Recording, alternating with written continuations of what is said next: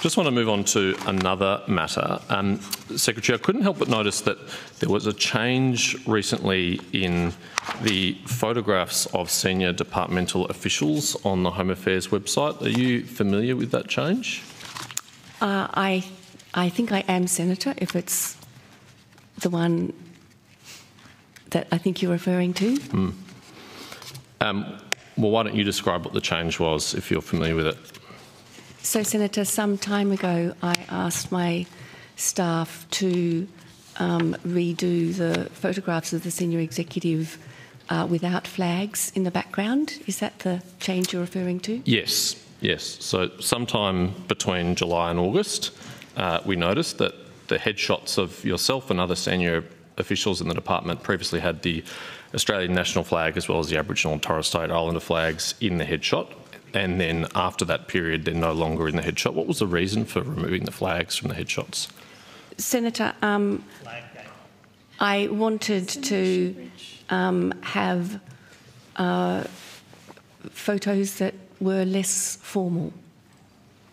Right. Um, as far as I can tell, the, the photos themselves haven't changed. It's the same photos.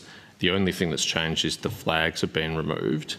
How does removing the flags assist with informal photos, and what's the purpose of having informal photos on the department's website? Uh, Senator, um, I think having photographs against a background of flags gives a certain formality to the photo. Um, as you know, as part of our uh, cultural reform, I've been working hard to make sure that um, the senior executive are very accessible to staff. Um, it was one small change that I thought might assist with that program. The Department of Home Affairs, among other things, administers the citizenship test. Uh, if I'm right in recalling, I believe there are questions on the citizenship test about the Australian national flag and other flags. Is that right? I believe that's right, Senator. I don't have the details with me. Yeah. It, it, the department, more than any other department of the Commonwealth, is responsible for making sure new citizens understand the importance of our national symbols, uh, are educated about uh, our history, uh, our, our national symbols. What, why, why is the department uncomfortable appearing in photographs with the Australian national flag and other flags? Not at all uncomfortable, Senator. I've explained the rationale between me removing them. Right.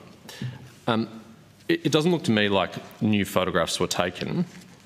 Presumably, you've assigned someone to Photoshop and remove these flags from the backdrop of the existing photos. Is that right? I don't know how it was technically done, Senator. Okay. Well, you obviously issued the instructions for it to happen. Uh, what did your staff tell you when they said they would go? But they obviously didn't tell you. Well, you need to get a sit down for a new photo. So how did they tell you they were going to do so? They didn't, Senator. Right. Um, so it doesn't you haven't wondered, you know, how many of your staff have spent time on photoshopping these? No, Senator. Which function of the department performed the task? Uh, I'd have to ask um, Ms Sharp if she could help me with that, but we have an area senator which um, maintains our website and does sort of external facing media. If Ms Sharp could assist, that'd be great.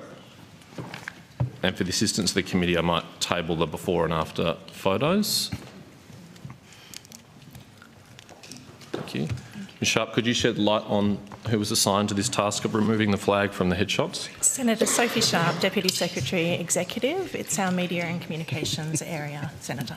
Yep. Are you familiar with how they removed the flag? Did they use Photoshop or some other service? Uh, not the technical detail, no, Senator. No, but but um, presumably they digitally altered the photos because new photos weren't taken. Uh, presumably, yes. How long did it take to complete the task? Senator, we'd have to take that on notice. Yeah.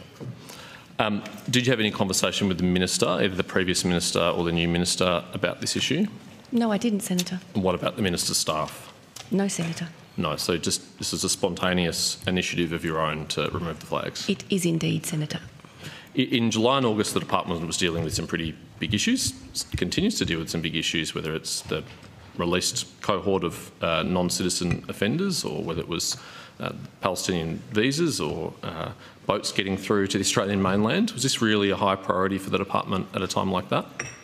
So, Senator, in terms of um, executive focus, it occupied very little time. Um, and whilst I'll have to take on notice how big the technical job was, I'm struggling to believe it was much work.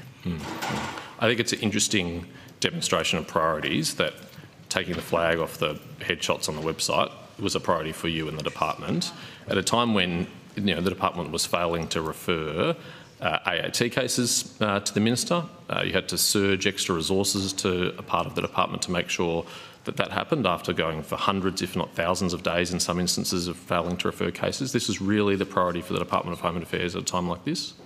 Senator, as I said, it was a, um, a very small issue which took very little of my time and effort.